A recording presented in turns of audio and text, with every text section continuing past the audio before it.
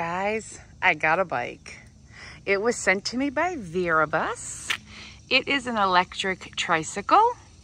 It weighs 70 pounds. It will hold up to 250, 265 maybe. This basket right here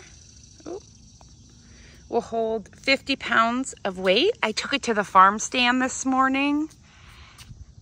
Big fat tires. It is so vintage and retro. I love it.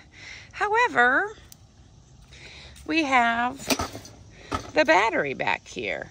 So your battery will tell you how much power, like I need to charge this soon. I'm at about medium power. This will lift and it slides out to charge. You don't have to bring the whole bike in. We have a power button here that also locks it in. So if you go over, uh, let's see, there you go. That will unlock this so I can take it out and charge it inside. It comes with all of the charging cables that you need for it. I love that the seat just lifts up. It is, speaking of, that is one comfortable seat. You have a light on the front. There's a horn. There's even an extra place if you want to put a front basket. It did not come with the front basket, but you can absolutely add one to it.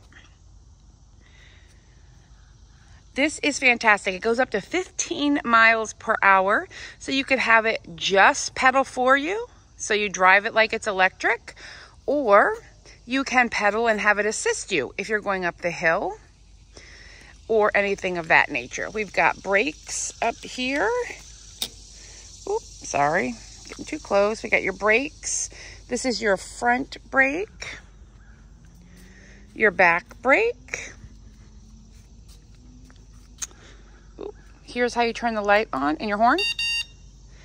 And then here's your power button. So if you wanted to drive it without any assistance, you'd hit this and then you turn this throttle. I have it turned on and it takes you and it goes up to 15 miles an hour. Guys, I love this bike. I've been enjoying it for the past couple weeks, giving it a get a feel for it. It's got some thick chunky tires.